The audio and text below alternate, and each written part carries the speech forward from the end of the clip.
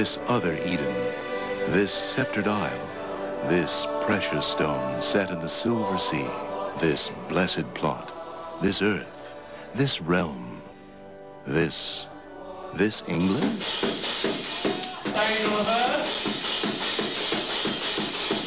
This is a little travelling item here for those who want a discreet small cane. Mr. Hussey, Mr. Spencer, we're going to bend you over and thrash you both severely. One of Britain's greatest gifts to the world has been the fine art of caning. This one is much more your big whoppy brute. And that'd be quite painful, that one. Since the caning of Michael Fay in Singapore, the American public seems to think that caning began in the third world. Not so. I went to Britain, the birthplace of caning, to find out why the Brits are so in love with spanking each other's bottoms. Hard or soft? That is a bull's pizzle. Very painful indeed. I, Di Llewellyn is the owner of the Bodner Cane Company, one of the largest manufacturers of punishment canes. Since the uh, caning of this American youth in Singapore, opinion polls have showed an overwhelming support for the use of caning as punishment. Why do you think that is? I think they're probably realizing something that we realized a long time ago. We built an empire on it after all. The British Empire was the largest empire that was ever built in the history of mankind. And most of it was achieved with these fine whoppy canes, right? They say it was on the playing fields of Eton, but it was also in various frigid rooms where boys would be bent over and have their bottoms given six of the best. It taught them not to be naughty, toughened them up, and made them good frontiersmen. What was the empire? The British Empire was one third of the world's surface. And now what? Now what? Well, basically, we've got Gibraltar sitting in there very nicely. Mm-hmm. There's the Falkland Islands. Okay, so we got essentially two islands and a rock, yes, right? that sort of thing. And then this island that we're sitting on now. Yep. And that's that's about it. That's about it. And it's all because we gave up caning in schools mm-hmm. And started having base-blooded politicians who were, who were brought up without being savagely thrashed. Although caning was officially banned in state schools in 1987, a few private schools still use the cane. Rodney School in Nottinghamshire is one of the schools that still upholds the tradition. Headmistress for the last 50 years, Joan Thomas's disciplinary practices have been praised by military generals. She recently caned some 12-year-old girls for sneaking into the boys' dormitory. The next day they came and um, said, we brought you these, Miss Thomas. There was some, one of them had brought a plant or some small gift and, and some chocolates. And I said, but I came to you yesterday or the day before.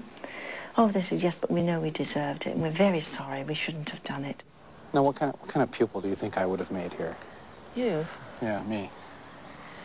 I think I could have coped with you, really. You think so? I think Huh? so. Actually, that would this would be a good place for me. Member of Parliament Harry Greenway is a former schoolmaster and a skillful caner. That hurt. No, that hurt. He has been campaigning for corporal punishment to be restored in state schools. At the end there. Ah. Harder still. That really hurt. If you knew you were going to be caned, I mean, I was caned uh, often enough as a, as a boy, um, and in anticipation of it, you had to be rather courageous.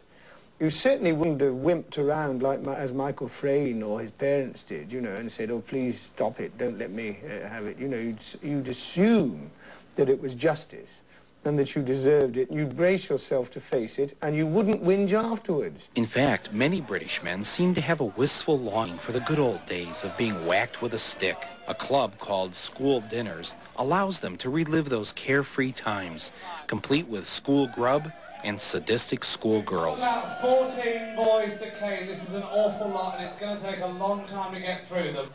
Right, gentlemen, what do you want this to be? Hard or soft? Counting out loud. And, oh, one. It really makes you wonder, were the Brits always this weird? Or is it just since they lost their empire? Because of the lack of discipline. Yes. Because a generation grew up not to understand how to uh, deal with adverse conditions, such Very as true. being caned in the buttocks. Yes. On the buttocks, not in the buttocks. Love the way, I love the Sorry way you about that. pronounce buttocks. buttocks. Um, well, how do you say it over here? buttocks. Buttocks? I'll Yeah. say it your way. Buttocks. Just for today. It's lovely. Well, I'd try to um, uh, teach you something that uh, when you became 16 or 18 that you could go out into the world and earn your living. You seem to be mm-hmm. doing very well for yourself now, so I don't think there's any worry about that. Surprisingly, isn't it? so, it is quite amazing the sort of people who get good jobs, isn't it? I wonder what it is. Hmm. Is it personality or... I don't know. We brought a dummy. Oh, have you? I thought you set me up, have you? I didn't want you to cane me. No. All right. Well, I think you... Yeah, no, I mean, he'd need to touch his toes. And, and, bend him over, sort of. and, and he wouldn't want a coat on. Or if he has a coat, that would have to be turned up. Mm-hmm. All sorts of things can happen. But... All right? That hurt just hearing it. I gotta say though, why bother with this this cane business here? I mean, why not just give him a good punch in the nose? I mean, why not why not take a gun, shoot them in the foot, and and say, you know, that'll teach you. I mean, you, they'll they'll remember that for months to come, a lot longer than they'll remember being hit in the buttocks. Yes. I, I have to say then that then you really don't understand what we mean by using the cane. You obviously, it is in your brain, it is, and probably in many other Americans' brains, it is synonymous with brutalization of any form, right? Whether it be It's shooting punishment. someone in the foot. Punishment. No, no, whacking someone in the jaw is like immediate retribution. You pinched my girlfriend, boom, right? It's the law of the jungle. Right. I do believe the cane is quite a sophisticated beast. It is more civilized because you can actually measure it. You can say, right, six strokes on the buttocks, gone, forgotten. Doesn't cost the taxpayer loads of money to go and keep the guy in jail year after year after year. Who were you thinking of when you? I was thinking of a naughty boy. And, you know, and, and, and don't do it again. mm-hmm.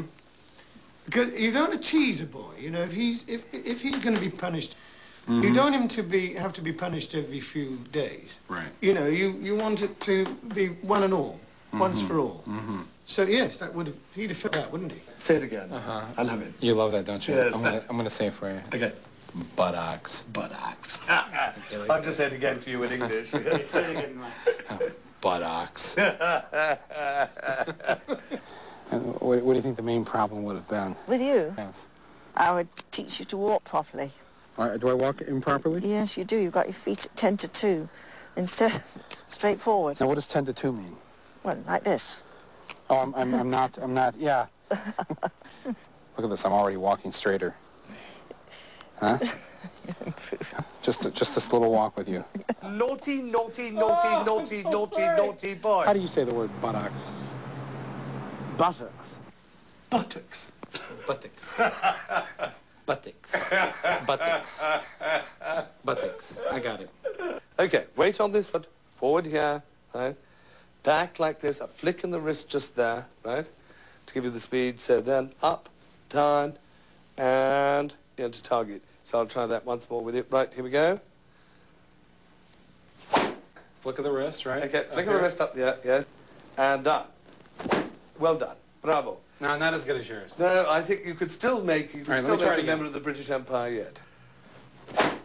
I have to say, we're going to have to get, oh, he's getting the taste for it, and also, it's a good thing it's safe as getting its summer spring clean. Can I cane you? Uh, no, I'm sorry. I'm Huh? sorry, it's off the menu. you today. sure? Yes, sorry about that. Oh, now look, you've made him All right. cry. Well, it's it has hurt me more than it hurt you, but anyway, just don't do it again. I don't want to see you in this office of mine. If you do, you know what it would be, and you would not like it, would you? Okay, Mr. Headmaster. Okay. I'm sorry, I'll never do it again. Right. Off Bye. you go. Jai, good.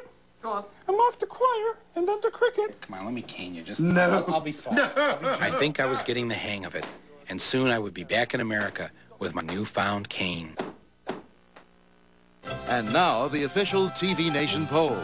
229 Americans were surveyed by the professional polling firm of Widgerine Associates. 88% of Bush voters have no idea what rappers are talking about.